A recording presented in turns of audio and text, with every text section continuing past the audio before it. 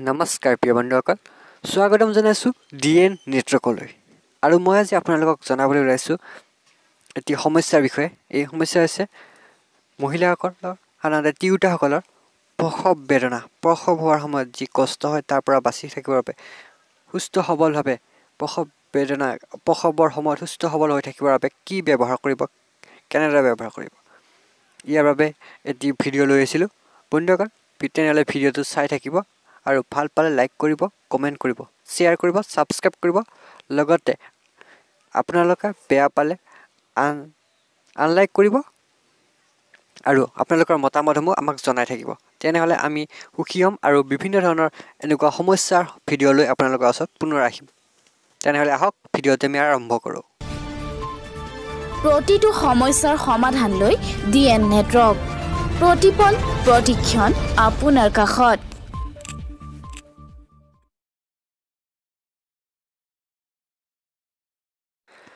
বন্ধুসকল স্থিৰ প্ৰসৱ বেদনা হ'লে ফুল নুফুলা সৰু তেতেলী গছৰ শিপা তুলি আনি ধুই পৰিষ্কাৰ কৰি গৰ্ভৱতী স্থিৰ চুলিৰ লগত বান্ধি গোন্ধ শুঙালে প্ৰায় আধা ঘণ্টাৰ ভিতৰত সুখে প্ৰসৱ হয়।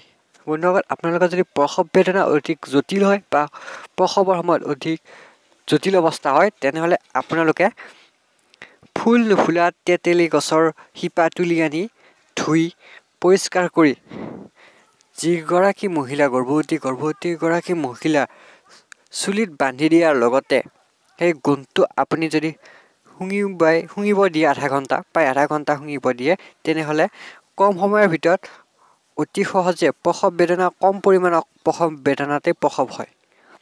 প্ৰসৱৰ শেষত শেষত লৰালৰি কৰি খুলি পেলাব লাগে আৰু প্ৰসৱ শেষ হোৱাৰ লগে লগে সেই শিপাখিনি লৰালৰি কৰি খুলি পেলাব লাগে।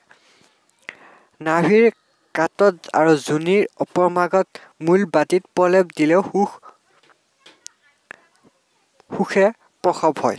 বন্ধুসকল আপোনালোকে এইদৰে এগৰাকী মহিলাৰ সুখ সুখ সুখভাৱে সুখিত অৱস্থা কোনো অসুস্থ নোহোৱাকৈ প্ৰসৱ বেদনাৰ পৰা বাচি থাকিব পাৰিব। তেনেহ'লে চাই থাকিব। D N network